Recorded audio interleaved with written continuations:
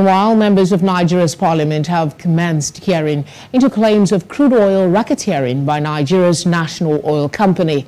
This was during the commencement of an investigative hearing on the alleged theft of over $2.4 billion in oil revenue since 2014 by Nigeria's House of Representatives.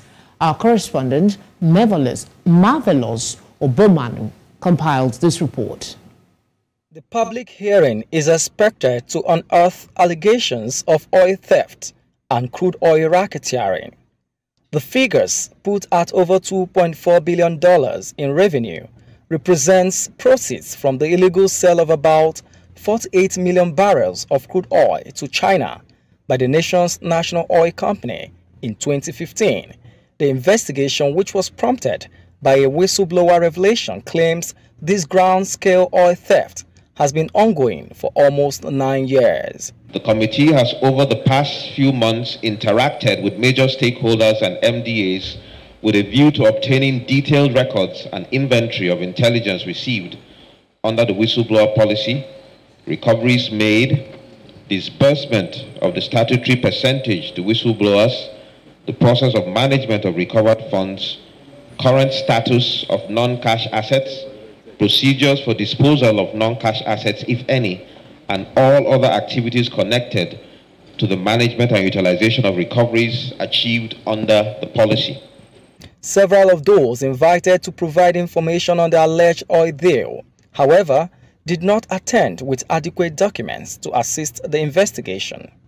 But the nation's Code of Conduct Bureau, which was present, expressed worry, saying a similar investigation in the past had also revealed the same findings. From 2011 to 2014,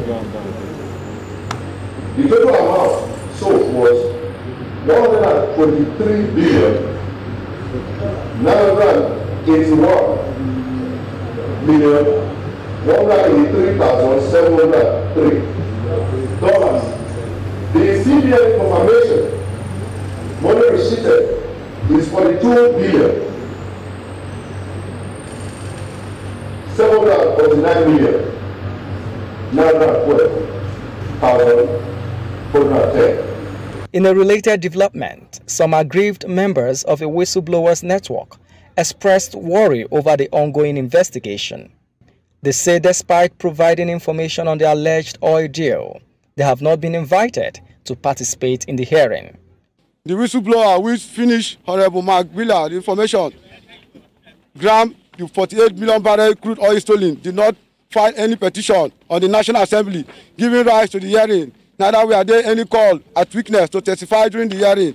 Gbillah reported ad committee hearing is a scam. The lawmakers say they will use the opportunity of the hearing to give legislative backing to the nation's whistleblowers policy. They say the current hearing would provide more information on providing a final draft for the nation's Whistleblower Act. Marvelous Obomanu, reporting for News Central.